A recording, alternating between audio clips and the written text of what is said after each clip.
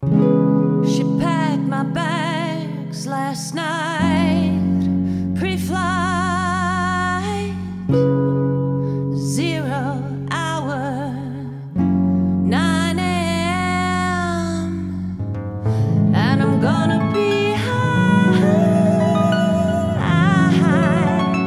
as a kite by then. I miss the